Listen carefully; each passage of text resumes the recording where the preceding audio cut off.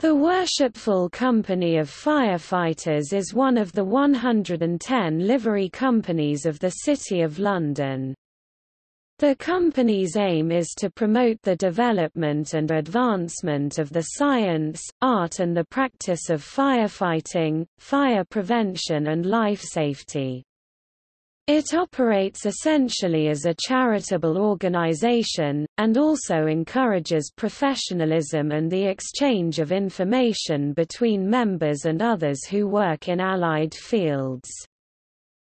One of the new city livery companies, its origins date from 1988 with the founding of the Guild of Firefighters.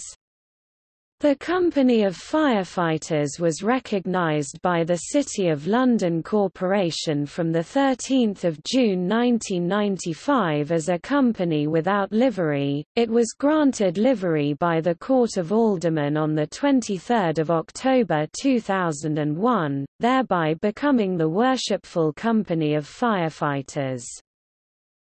The Firefighters Company ranks 103rd in the Livery Company's order of precedence and is based at the Insurance Hall on Aldermanbury, near London Wall, a building it cohabits with the Worshipful Company of Insurers. The clerk to the Firefighters Company is Stephen Tamkin and the Beadle since foundation in 1988 is John E. P. Norris SBSTJ.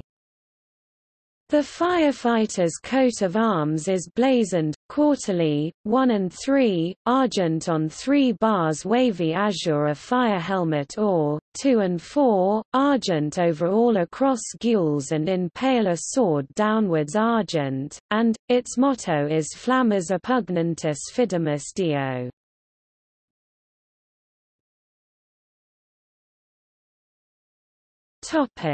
External links Firefighters Company website